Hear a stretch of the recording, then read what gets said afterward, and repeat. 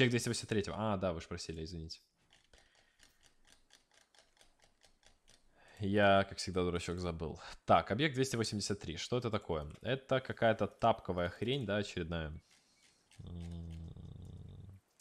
А как мне... Ну, мы его в бою ведь не видели. Какой у него средний? 2500. 2500. На К-91 2, 2200. На 777 2500. На 263 2300. Ну, в принципе... Ну, это опять же, да, вот эти танки 9 уровня. Я их очень много уже где встречал. Вот этот К-91 2, ТЛ-7. Вот эти танки я много где встречал. Шармли вот этот, который ЛТ, да? 700 урона среднего делает. Имба еще та, наверное. Вот, то есть получается, вот новый танк, вот новый танк, еще вот этот новый танк и вот этот новый танк. То есть 4 танчика.